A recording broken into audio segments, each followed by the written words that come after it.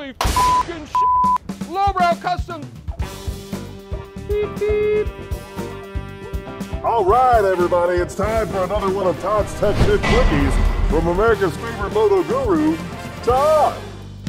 So you just got your new louvered air cleaner in the mail, and you're getting rid of this big old clunky backing plate for your S&S Super E, and you go to put it on, and you go, wow, the new backing plate is covering the vent hole for the float bowl. And so you start scratching your head and you go, how the heck is that gonna work? Well, I'm here to tell you that you're just gonna take out this optional bowl vent right here. Get yourself a 530 seconds T-handle or whatever you have in your toolbox, and there you go. Bam! Now you can proceed with your installation of your new air cleaner and your carb won't be thirsty for gasoline because the float bowl vent hole's covered up. Todd's Tech Tip Quickies.